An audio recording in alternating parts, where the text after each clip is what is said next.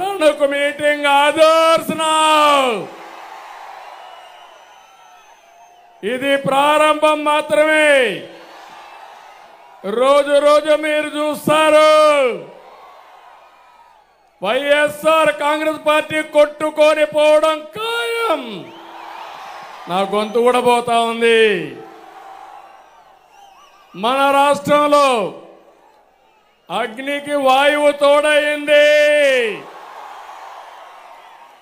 ప్రజాగళానికి ప్రజాగ్రహానికి వారాహి తోడైంది. ప్రజల నుంచి పుట్టిన ఈ అగ్ని చెడును దహించి వేస్తుంది. అహంకారాన్ని బూడిద చేస్తుందని చెప్పి నేను మీకు తెలియజేస్తున్నా. నేటి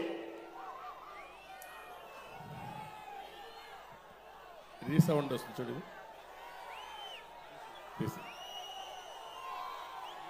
నేటి తణుకు సభ సాక్షిగా చెప్తున్నా సైకిల్ స్పీడ్కు ఇంకా తిరుగులేదు. గ్లాస్ జోరుకు ఎదురు లేదు. కమల వికాసానికి అడ్డే లేదు. రాష్ట్రానికి అన్ని మంచి రోజులే. మా తమ్ముళ్ళు చెప్తున్న యువతకి తమ్ముళ్ళు భవిష్యత్తు మీదే. రాష్ట్రాన్ని కాపాడుకోవడానికి మూడు పార్టీలు చేతులు కలిపాం. మూడు జెండాలు వేరు. అజెండా ఒకటి. అదే సంక్షేమం అదే అభివృద్ధి ప్రజాస్వామ్య పరిరక్షణ అని చెప్పి మరొకసారి మీకు తెలియజేస్తున్నా. రెండు వేల పద్నాలుగులో విభజన కష్టాల నుంచి రాష్ట్రాన్ని గట్టెక్కించేందుకు మూడు పార్టీలు కలిశాం. ఈరోజు మళ్ళీ కలుస్తున్నాం. జగన్ కబంధ హస్తాల నుంచి రాష్ట్రాన్ని కాపాడుకోవడానికి సిద్ధమా తమ్ముళ్ళు అని మిమ్మల్ని అడుగుతున్నా. కలిసింది మామూలు వ్యక్తులు కాదు. అనుభవం నేను తపనున్న పవన్ కళ్యాణ్ గారు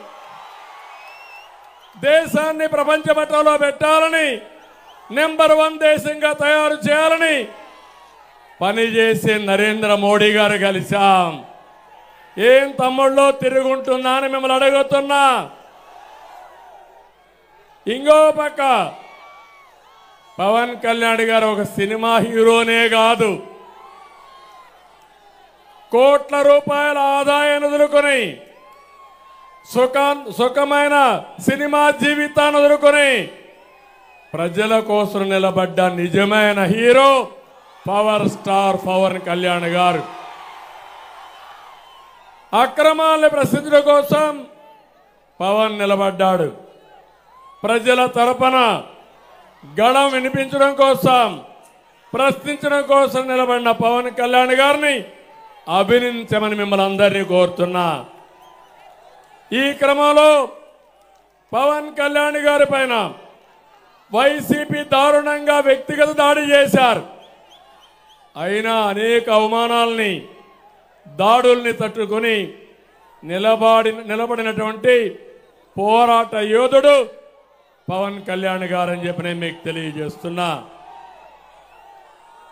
నేను ఇబ్బందుల్లో ఉన్నప్పుడు బేషరతుగా వచ్చి నా కోసం పనిచేసిన వ్యక్తి పవన్ కళ్యాణ్ గారు నా జీవితంలో నేను కానీ మా తెలుగుదేశం పార్టీ కానీ మరిచిపోలేమని చెప్పి కూడా నేను మీకు తెలియజేస్తున్నా.